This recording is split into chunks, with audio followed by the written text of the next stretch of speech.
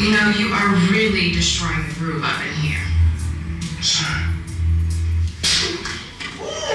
You know, you got some nerve blaming me for your skeletons, mister.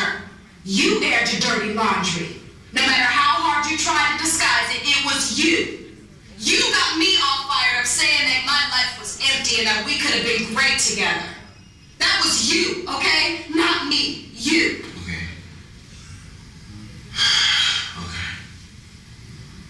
I'm sorry. I know we're both a little emotional here. I'm sorry. We're peace and apart, remember? You know, maybe if I had the luxury of getting my ass whooped, I could be calm right now.